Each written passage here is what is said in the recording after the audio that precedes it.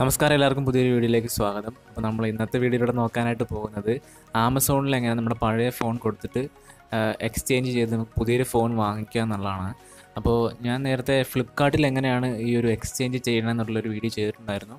അപ്പോൾ അത് നിങ്ങൾ കണ്ടിട്ടില്ലെങ്കിൽ നിങ്ങൾക്ക് ഇപ്പോൾ നോട്ടിഫിക്കേഷനിൽ പോയി കഴിഞ്ഞാൽ അത് കാണാനായിട്ട് സാധിക്കും.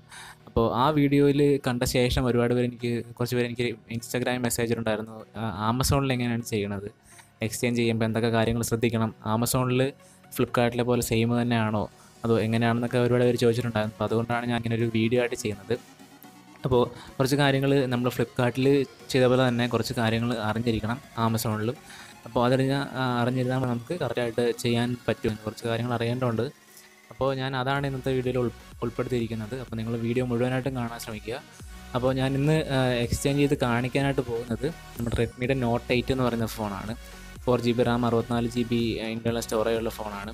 അപ്പോൾ ഇതിന്റെ വില എന്ന് പറയുന്നത് പതിനായിരത്തി അഞ്ഞൂറ് രൂപയാണ് ഫോർ ജി ബി വേരിയന്റിന്റെ വിലയാണ്. പല മോഡൽസ് ഉണ്ട്.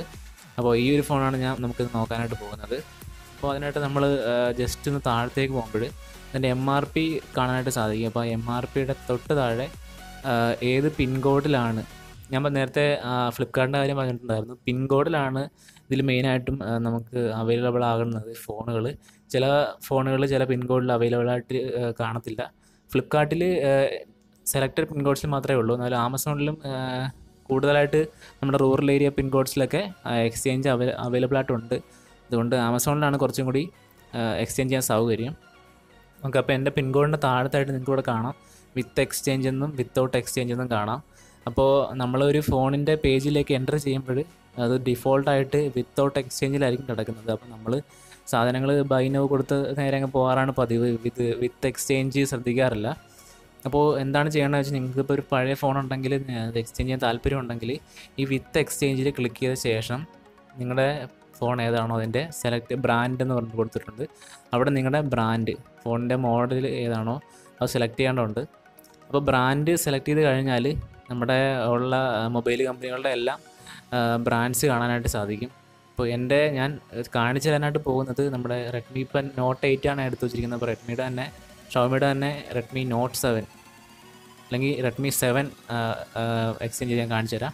അപ്പോൾ അതിനായിട്ട് നമ്മൾ ഷവമി സെലക്ട് ചെയ്യുകയാണ് ഇപ്പോൾ ഞാൻ നോക്കുമ്പോൾ ഇപ്പോൾ റെഡ്മി നോട്ട് സെവൻ കാണാനായിട്ട് പറ്റും. അപ്പോൾ നോട്ട് സെവനിൽ ക്ലിക്ക് ചെയ്യുകയാണ് അപ്പോൾ നിങ്ങൾക്ക് കാണാം.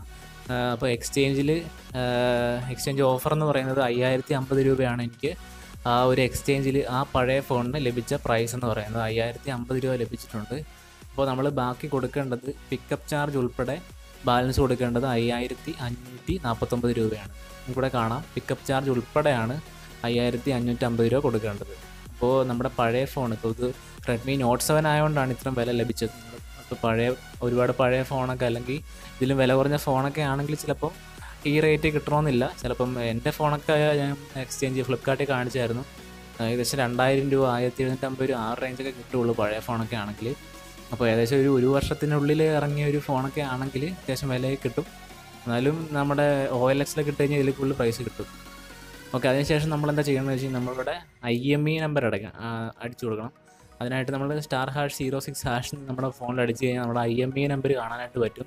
അതിനുശേഷം ഐ എം ഇ നമ്പർ കൊടുത്ത ശേഷം എന്റർ ചെയ്ത് കഴിഞ്ഞാൽ നമ്മുടെ ഇത് പോകുന്നത് ഇപ്പോൾ ഞാനിവിടെ ചുമ കൊടുത്തതാണ്. അപ്പോൾ നമ്മൾ നെക്സ്റ്റ് സ്റ്റെപ്പ് എന്ന് പറയുന്നത് നമ്മുടെ അഡ്രസ്സ് കൊടുക്കാനുള്ള ഓപ്ഷൻ ആയിരിക്കും. അപ്പോൾ അഡ്രസ്സ് കൊടുത്തു കഴിഞ്ഞാൽ നമ്മുടെ തേർഡ് സ്റ്റെപ്പ് എന്ന് പറയുന്നത് പേയ്മെന്റ് പേജ് ആയിരിക്കും. പേയ്മെന്റ് കൊടുത്തു കഴിഞ്ഞാൽ നമ്മൾ അല്ലെങ്കിൽ ക്യാഷ് ഓൺ ഡെലിവറി ആയിട്ടും ചിലപ്പോൾ ചെയ്യാനായിട്ട് പറ്റും. അപ്പോൾ അത് കൊടുത്തു കഴിഞ്ഞാൽ നമ്മുടെ ഈ ഒരു എക്സ്ചേഞ്ച് ഓഫർ കംപ്ലീറ്റ് ആവും. അപ്പോൾ നമുക്ക് ആ ഒരു എക്സ്ചേഞ്ച് പ്രൈസിൽ സാധനങ്ങൾ വാങ്ങിക്കാവുന്നതാണ്. ഓക്കെ അപ്പോൾ ഇതാണ് ആമസോണിൽ ഇങ്ങനെയാണ് ചെയ്യുന്നത്. അപ്പോൾ നിങ്ങൾ ഇത് അനുസരിച്ച് തന്നെ ചെയ്യുക. അപ്പോൾ ഈ ഒരു കാര്യം നിങ്ങൾക്ക് ഈ ഒരു വീഡിയോ നിങ്ങൾക്ക് ഇഷ്ടപ്പെട്ടെങ്കിൽ ലൈക്ക് ചെയ്യുക സബ്സ്ക്രൈബ് ചെയ്യുക ഷെയർ ചെയ്യുക. അപ്പോൾ നമുക്ക് ഇതുപോലുള്ള കൂടുതൽ വീഡിയോസ് ആയിട്ട് ഞാൻ വരുന്നതായിരിക്കും. അപ്പോൾ അതുവരേക്കും ഗുഡ് ബൈ